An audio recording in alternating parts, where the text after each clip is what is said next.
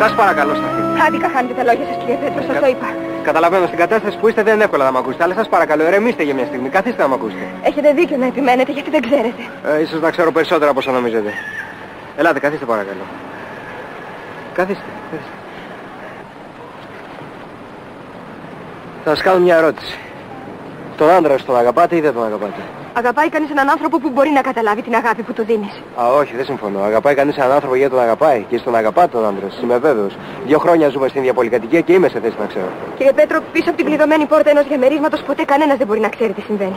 Και αν φαινόμαστε ένα ευτυχισμένο ζευγάρι, αυτό οφείλεται στη δική μου την υπομονή. Η οποία τώρα εξαντλήθηκε; Ναι, Αλλά τον άντρα σου τον αγαπάτε. δεν ξέρω. Εκείνο που ξέρω είναι ότι δεν αντέχω άλλο.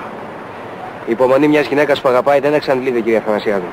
Και στο χέρι της να μην διαλυθεί το σπίτι που έφτιαξε. Ο άντρας ό,τι σφάλμα και να κάνει, έρχεται κάποια στιγμή που συναισθάνεται την πίκρα που έχει δώσει στη γυναίκα του. Στη γυναίκα που αγαπάει φυσικά.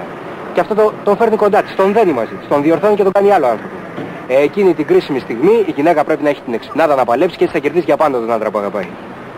Ο άντρας πολλές φορές μπορεί να είναι ε, εγωιστής, νευρικός, απότομος. Ε, Γιατί ζει έξω από το σπίτι, αγωνίζεται έξω από το σπίτι. Αντιμετωπίζει προβλήματα που η γυναίκα μέσα στο σπίτι δεν τα αντιμετωπίζει. Όλη αυτή τη μάχη για τη ζωή. Είναι όμως και ευαίσθητος, συναισθηματικός. Μπορεί να θυμώνει, να φωνάζει, να βρίζει. Την άλλη στιγμή όμως το μετανιώνει και έρχεται και ζητάει συγγνώμη. Εάν τότε δεν το συγχωρέσεις σημαίνει ότι δεν τον αγαπάς. Κύριε Πέτρο, ωραία και καλά όλα αυτά που λέτε. Αλλά και η γυναίκα έχει κάποια όρια αντοχής. Μα σας είπα για τη γυναίκα που αγαπάει δεν υπάρχουν όρια.